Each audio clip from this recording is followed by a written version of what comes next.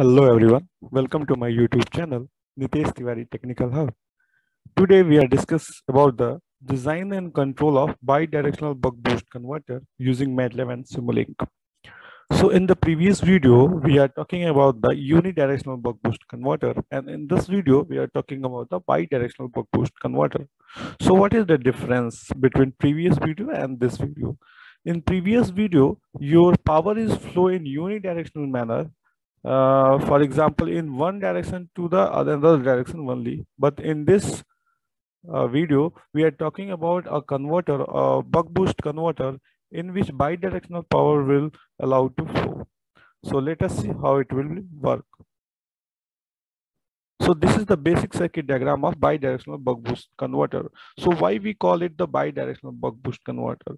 As see in this circuit, if power flow from left to right, then the power then the voltage will going to be increased. It means this side voltage is less than this side voltage. And if the power flow from right to left then this circuit work as a buck converter. It means this side voltage is always less than this side voltage.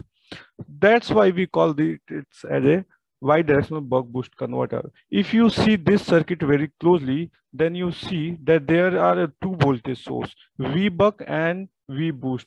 But in, in any application, we are not using two voltage source in this converter. Why we are showing two voltage source? Let us see.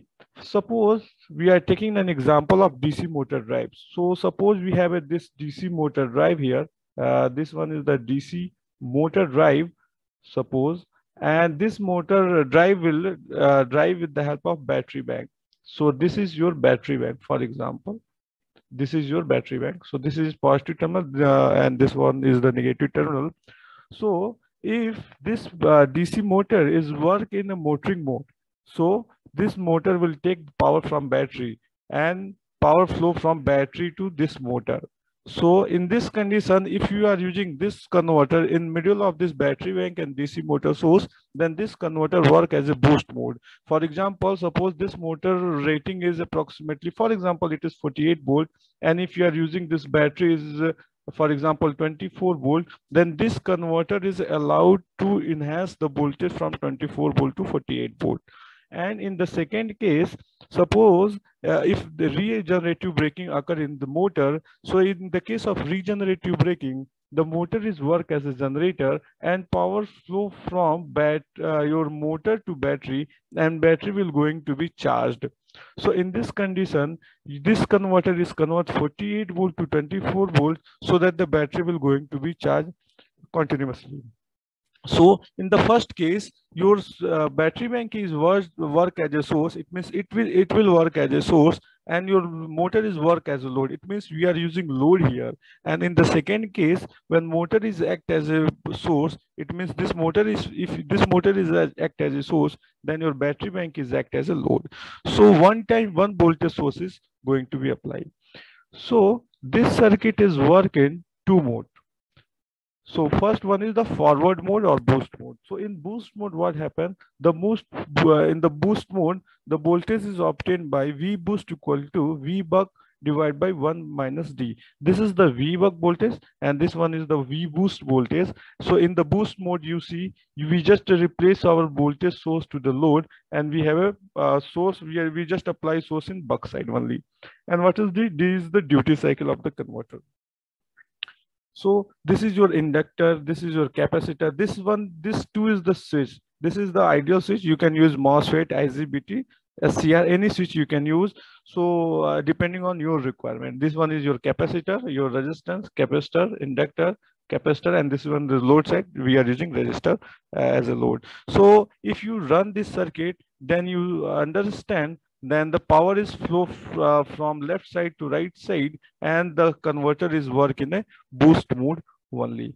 And in the second mode uh, is called the buck mode backward mode or buck mode. In this mode this uh, uh, side is your voltage source and this side is your load source. And the power is flow from right to left and the converter is work in a buck mode. It means this side voltage is always less than this side voltage and if you want to calculate what is the voltage value of uh, your load source, then we, you can calculate it by V buck equal to D V boost, where it is the duty cycle, V boost is the voltage in boost side and V buck is the voltage in your buck side.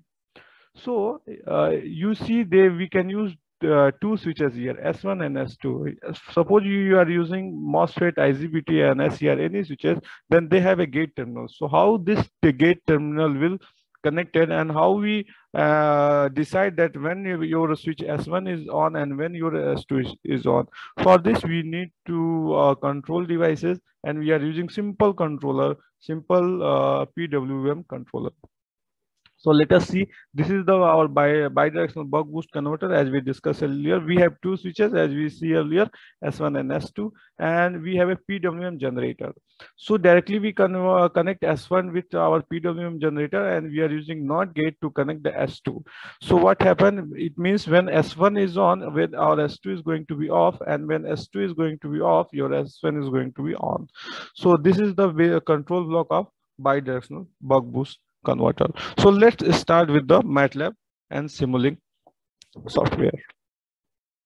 So this is your Simulink environment and I draw the your uh, bidirectional boost converter and uh, I, I show all the parameter one by one. So you just see this uh, at that time, this converter is act as a boost converter. Why it's act as a boost converter? Because we are using source here. So uh, just I show you what is the voltage value in the source size. So for that, we have to double click on voltage source, uh, this. Uh, so for this, we have to double click on this block and we got 100 volt. It means we are applied 100 volt uh, as a source voltage. And this is your uh, resistance value and this is one ohm. Uh, this is the capacitor. We we, uh, we call it as a practical capacitor. So we are using resistance in parallel. So 100 ohm resistance and 100 e minus 6 your capacitance value. This is your inductor.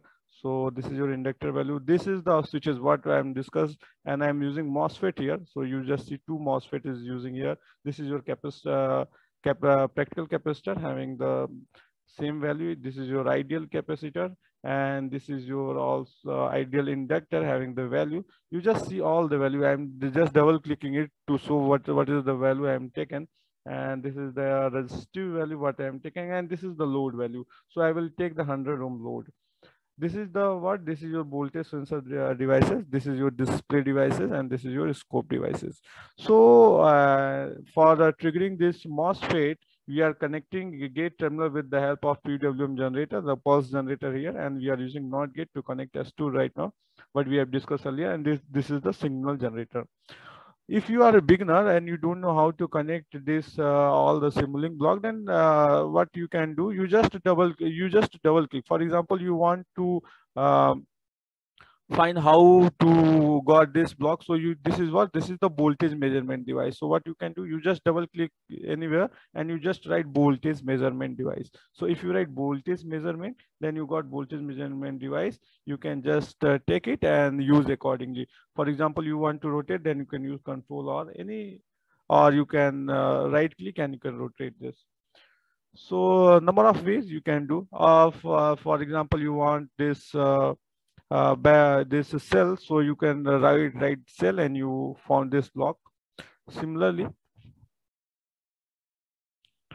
similarly this is what you can ju just double click and write uh, RLC for example RLC and uh, if you take RLC then uh, suppose you can take parallel RLC branch. So you just uh, if you use you want r then you just click on r. If you want l then you can use l. If you want lc then you can just click on lc and you found lc only. So depending on your requirement you can choose there. If you want rc then you can choose rc from there. So depending on your requirement you can choose any block and you can uh, uh, connect it uh, according to what what i'm uh, showing here. If you don't want to uh, search like that, then you just to go on this block, you just double, uh, you just single click in that and, and other uh, uh, window is going to be open and you can search anything here.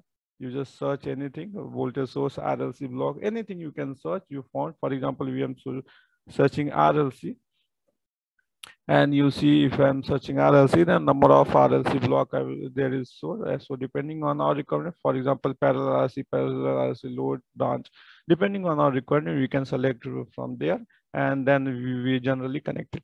So, okay, if once we connect, your circuit is going to be completed. So what you have to understand in better way that this is your voltage source and we are applying 100 volt and we want to say what happened. So from this green button, you can run this uh, Simulink. So after clicking, it will going to be compiled. It will check if any error is available or not. So if there is no any available, then it start running and uh, after 100% it the run is was going to be completed. So you just see we are applying 100 volts. So this display will show 100 volt that we are applying 100 volt and your output value is 191 volt approximately 190 volt it means your voltage will going to be boost. It means you got 100 volt in uh, you apply 100 volt in input side but your output voltage is going to be 190 voltage. It means it will enhance 90 voltage. If you are double clicking in this scope block then you clearly show then uh, we got uh, we uh, got a smooth voltage value and settling we have this this is the settling time and after that your voltage profile will going to be smooth. What it means it means after some time it will going to be uh, smoother. So in, in, this case this circuit is work as a uh, your boost converter because 100 volt will going to be amplified in 190 volt. Uh, okay, one more block is there, powergui block. So you have to use powergui block. You just double click right here, powergui, and uh, you got powergui block.